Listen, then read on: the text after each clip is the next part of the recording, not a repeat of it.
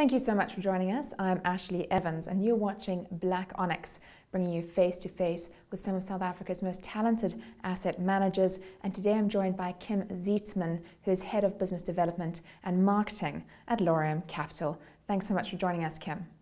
Pleasure.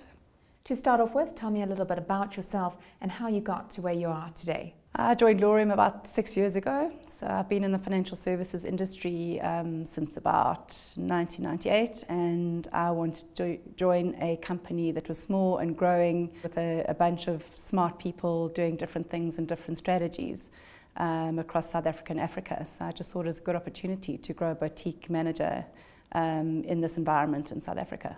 Who is Laurium Capital? Laurium Capital is a niche asset management company started by Gavin Vorwerg and Murray Winkler, and we invest in Africa and the rest of Africa. So we have three different strategies. We've got a hedge strategy, we've got a long only strategy, and an Africa strategy outside of South Africa.